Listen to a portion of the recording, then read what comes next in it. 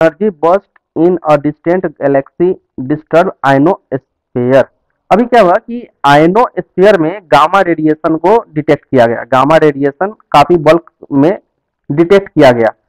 तो ये रेडिएशन कहाँ से आ रहा था, इसके बारे में हम लोग जानते हैं कि सबसे पहले तो हम लोग देखते हैं कि सुपरनोवा होता क्या है, क्योंकि ये रेडिएशन जो है, एक सुपरनोवा का रेडिएशन था, जो कि अर्थ के सरफेस पे मतलब कि अर्थ के इन्वायरमेंट में एंटर कर रहा था।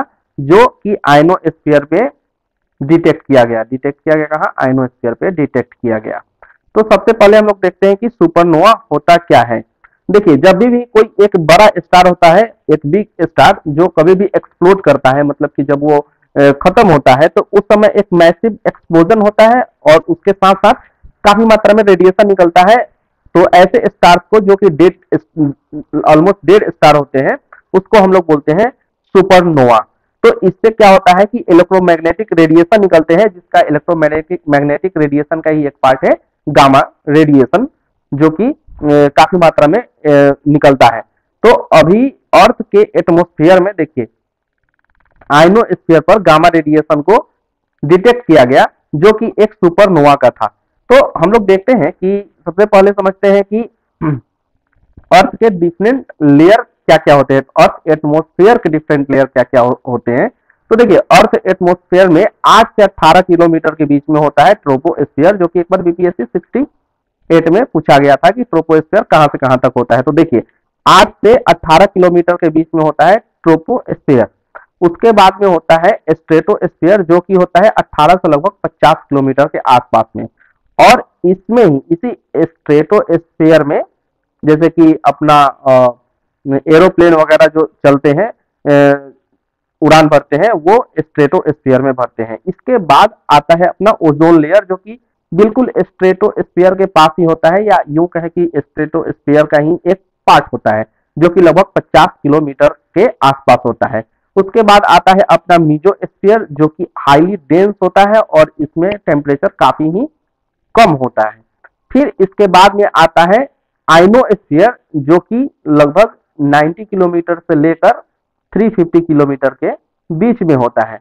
अब ये आइनोस्फीयर क्या करता है कि जो भी कम्युनिकेशन होते हैं, जो भी कम्युनिकेशन सिग्नल जो अर्थ से जाते हैं, उनको रिफ्लेक्ट बैक करता है। ये मान लीजिए कि आइनोस्फीयर है तो क्या करेगा कि जो भी इन कम्युनिकेशन सिग्नल है, जो कि इलेक्ट्रोमैग्नेटिक सिग्नल होते हैं, उनको रिफ्लेक्ट बैक करता है। इसके साथ साथ जो भी एक्सोस्फीयर से बाहरी बाहरी इन मतलब कि स्पेस से आउटर स्पेस से जो भी रेडिएशन आते हैं, उनको क्या करता है, ये रिफ्लेक्ट बैक कर देता है। मतलब एक तरह से रिफ्लेक्टर का काम करता है दोनों के लिए अर्थ के सिग्नल्स के लिए भी और एक्सो एक्सपेयर के सिग्नल्स के लिए भी।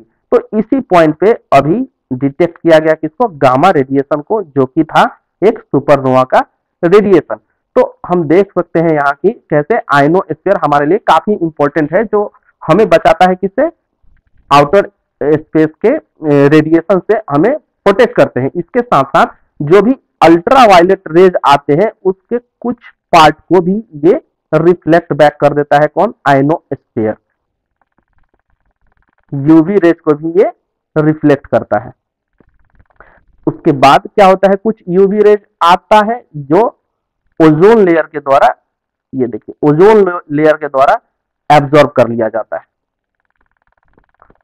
अब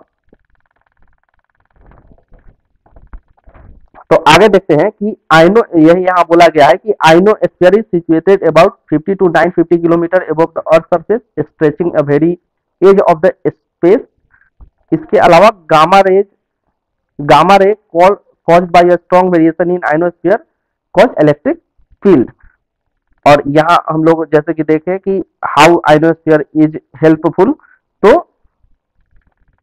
ये अभी जो आ, ये जो अभी गामा रेज का रेडिएशन डिटेक्ट किया गया उससे क्या हो सकता था कि इलेक्ट्रिक सिग्नल्स जो भी है कम्युनिकेशन सिग्नल है और सरफेस पर वो डिस्टर्ब हो सकते थे लेकिन ये प्रोटेक्ट कर लिया गया किसके द्वारा?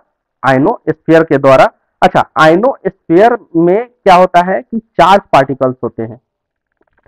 चार्ज पार्टिकल तो पूछा जा सकता है कि चार्ज पार्टिकल अर्थ एटमोस्फेयर के कौन से पोर्शन में होते हैं? तो ये होते हैं आइनोस्फियर वाले